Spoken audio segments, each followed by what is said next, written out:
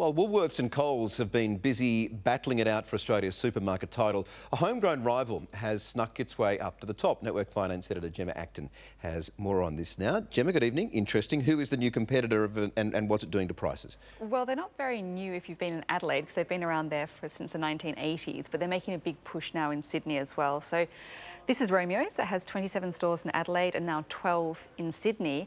And the strategy is not dissimilar to what you see with Woolworths or Coles, a real focus on stores matching the local community. So yes, in some areas, value will be the biggest driver, where it's thought that price is the big, biggest determinant of where people choose to do their grocery shopping. Elsewhere, it'll be more about offering special features such as a, a, swanky cheese room or an extensive deli selection or a big range of fresh, fresh flowers. So more competition is always good for, for consumers, but yeah. I think different consumers in different areas will see different competition. I've been in a few of them. They've also spent a fair bit of money uh, kitting out their stores in that too. They have. A lot of new fit out. Particularly recently. Yeah. Now, the major supermarkets have had a good, if not great, when the pandemic first started. So how are they faring now?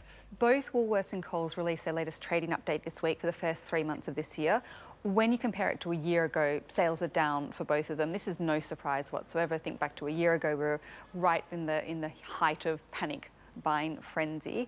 So that's expected, as is the more general return to normalisation of grocery shopping. So during the pandemic, we frequented local, smaller stores more often. Now we're heading back to the major stores again and doing our big weekly shops. One trend we are not expecting to reverse anytime soon is the move towards online shopping. Mm. Now, the amount we talk about it, you'd think that everybody does their grocery shopping online. It's actually still only 8% of Woolworths' total sales. Is that all?